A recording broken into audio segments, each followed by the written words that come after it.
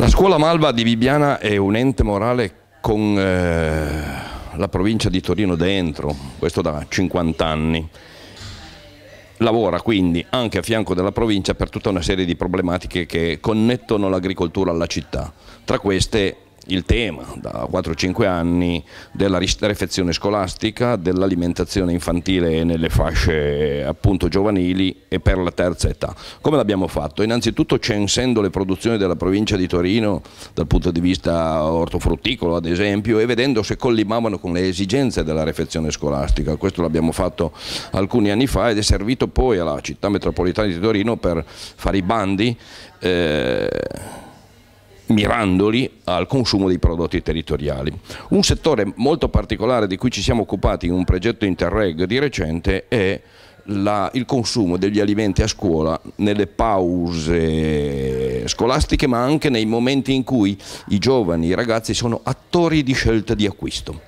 Beh, abbiamo considerato che quando si va in piscina, quando si va in palestra, eh, il distributore automatico è lì ed è l'occasione anche per i più giovani per eh, infilare una moneta e fare una scelta di acquisto di prodotti. Beh, purtroppo la scelta che ha a disposizione il nostro mondo giovanile sia a scuola sia appunto in queste pause extrascolastiche non è grande. Perché? Perché questo mondo è in mano a pochi attori, li chiamiamo in gergo tecnico il vending, società appunto che gestiscono grandi o piccole società che gestiscono appunto i distributori automatici e ci, che ci mettono dentro quello che per loro fa il miglior business, altro che prodotti locali di territorio. Cercando di ribaltare il problema, Abbiamo invece verificato con i ragazzi attraverso questo progetto che ha coinvolto molte scuole di Torino e provincia e molti ragazzi attraverso interviste eh, se avessero gradito ai ragazzi altre proposte dei distributori automatici. E come se le gradiscono e come se le gradiscono. Difatti in una serie di esperienze che sono state portate avanti, 15 distributori automatici in altrettante scuole, con prodotti quali la frutta fresca e i derivati di frutta, direttamente derivati dalla frutta, quindi cibo bio, cibo pochissimo manipolato, non zuccherato, senza additivi alcuni, beh, è stato gradito.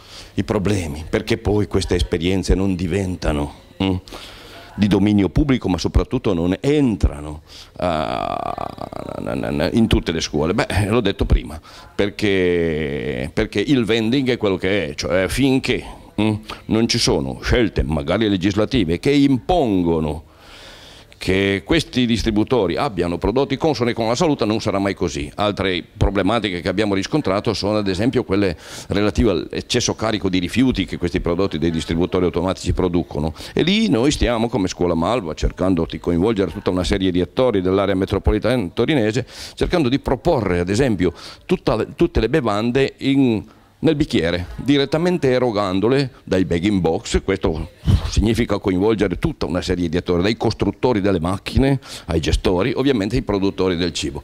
Insomma è un movimento che, che, che è in corso e eh, mi soccorre in questo il fatto che l'assessore all'agricoltura del Piemonte Ferrero è il primo firmatario di una proposta allargata a tutti gli assessori all'agricoltura d'Italia per vietare, affinché una legge vieti la somministrazione nei distributori automatici di bevande che contengono zuccheri aggiunti, ehm, grassi insatoli e trans, eccetera, sostanze insomma nocive alla salute. Quindi siamo sulla buona direzione e ciascuno per la sua parte.